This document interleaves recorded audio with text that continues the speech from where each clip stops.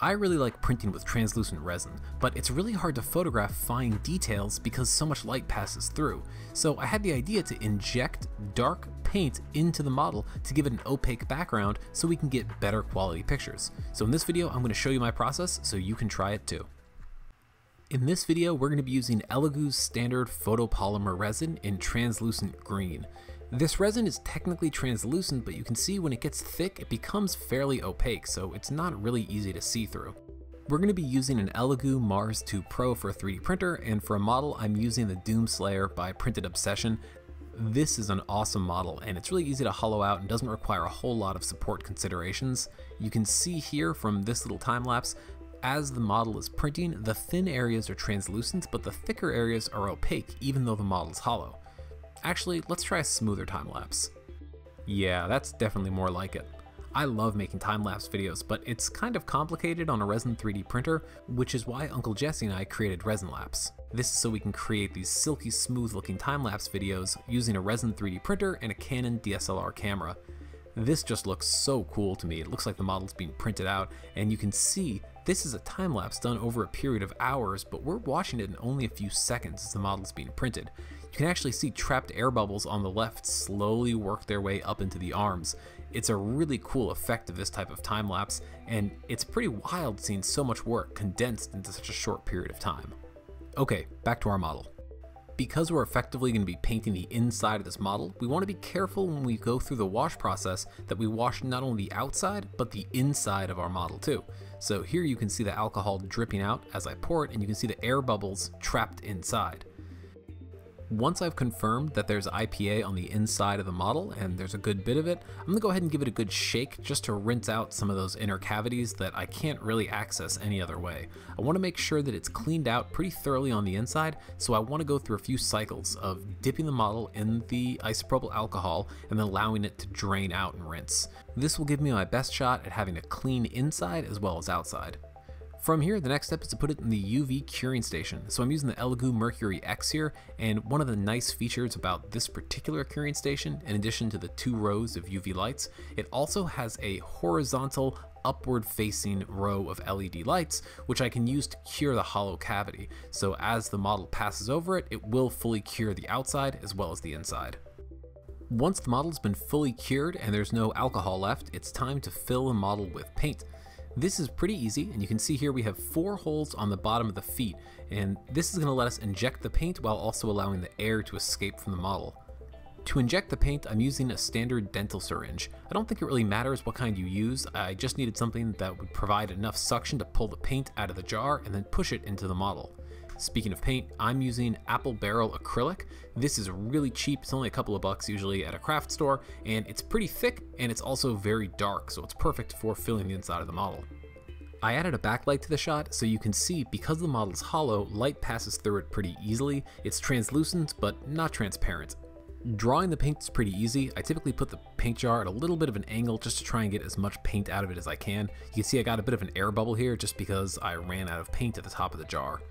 Injecting it is super straightforward. You just want to pay attention to the speed you inject it at. As you're injecting paint into the model, air will be escaping from the other holes. So you have to be careful you don't just slam all the paint in at once. You want to sort of gently inject it and make sure it doesn't come spilling out. You can see here I was a little bit fast and so some of the paint bubbled back up through that second drain hole. Definitely not the end of the world, but just something to keep an eye out for. Once we've injected some of this paint, we can stop and take a look and see the difference that it makes. With this opaque paint acting as a backing, it really makes the detail pop on the translucent portion of the model. So from here, we're going to go ahead and finish up and continue injecting paint. So we'll go nice and slow, making sure that we don't spill any over, and we can watch the paint as it fills the model.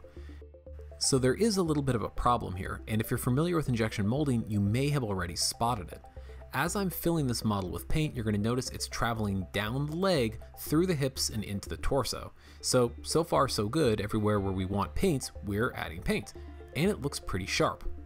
But, the problem we're to run into in just a minute here is how can we get this paint to travel up into the arms? We can see we don't really have a problem getting the paint to travel down from the legs into the torso, but we do need to try to fill up the air pockets in the arms. So what I'm going to do is shake the model and see if I can get that paint to spread around a little bit. This usually works pretty well, but you can see we do have some trapped air bubbles in the forearms of the model. Unfortunately, the easiest way to evacuate that trapped air is going to be drilling a small hole for the air to escape from as we put more paint in. So using the smallest drill bit I could find, I drilled a small hole in the back of the forearm right under a feature detail where I figured it would be least likely to be seen, and from here I can put more paint into the model, shake it around, and allow that trapped air to escape. Once the model's been completely filled with paint and we don't have any trapped air left, we're going to apply a couple drops of super glue to those two vent holes on the bottom of the foot, and using an activator spray, we're going to get that glue to cure immediately. And we're going to do the same thing for that small hole on the arm, just a quick drop of glue followed by a spritz of activator. This glue plug will give us a nice tight seal and prevent any paint from escaping, and also it can be sanded down or processed or painted so the model will sit flat. And that's it.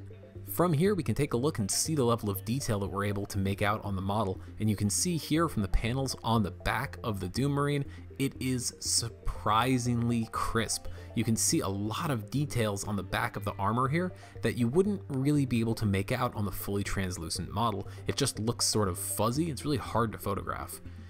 You can look at some of the smaller details on the small of the back here, and you can actually see the individual layer lines from the resin. It's pretty impressive to see them this close up without using a macro lens. Because the model has an opaque core, adding a backlight really makes that translucent skin pop out, and it gives it kind of a cool glow effect. And that's it. Now you've got an awesome looking model printed with a translucent resin that still has an opaque core.